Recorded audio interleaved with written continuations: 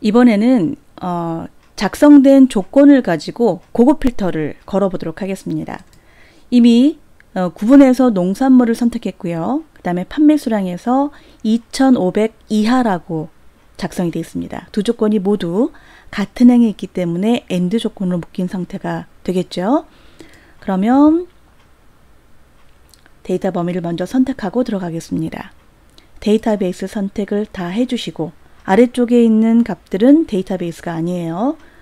데이터 탭에서 고급을 클릭해 주시고 이 대화 상자에서 첫 번째 목록 범위는 미리 선택한 범위가 있기 때문에 자동으로 어, 입력되어져 있을 겁니다.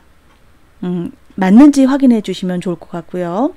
그 다음에 조건 범위에서 제목부터 즉 제목 행서부터 조건 모두를 선택해 주시는데 실수로 입력되지 않은 행까지 선택되지 않도록 예, 조심해 주시기 바랍니다.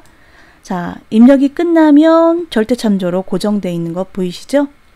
그리고 어, 이번 시험은 무조건 다른 장소의 복사로 되어 있을 겁니다. 그래서 활성화되지 않은 상태에서는 입력을 못 하시겠죠? 다른 장소의 복사를 클릭하시고 커서를 먼저 두세요.